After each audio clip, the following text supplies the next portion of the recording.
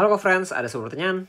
Bentuk umum dari persamaan kuadrat itu adalah x pangkat 2 dikurang dengan x1 ditambah x2 dikali dengan x ditambah dengan x1 dikali dengan x2 sama dengan 0.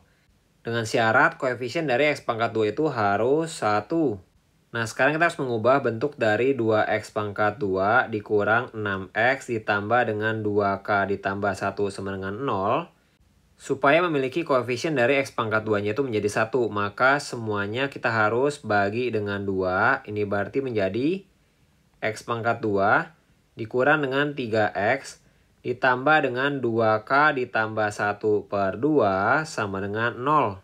Ini berarti nilai dari x1 ditambah dengan x2-nya itu adalah 3.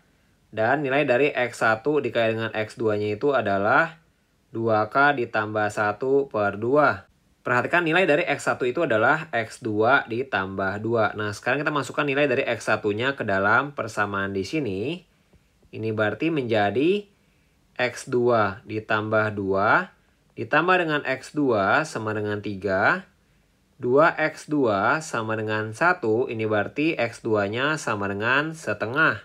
Maka nilai X1-nya sama dengan X2 ditambah dengan 2, ini berarti setengah ditambah 2 menjadi 2 1 per 2.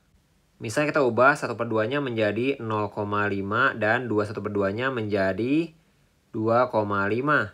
Sekarang kita masukkan nilai X1 dan X2 nya ke dalam persamaan di sini. Ini berarti X1 dikali X2 sama dengan 2K ditambah 1 per 2. Ini berarti X1 nya adalah 2,5 dikali dengan 0,5 sama dengan 2K ditambah 1 per 2. Ini berarti 1,25 sama dengan 2K ditambah 1 per 2. Sekarang 2-nya pindah ke ruas kiri menjadi dikali. Ini berarti menjadi 2,5 sama dengan 2K ditambah 1. Ini berarti 1,5 sama dengan 2K.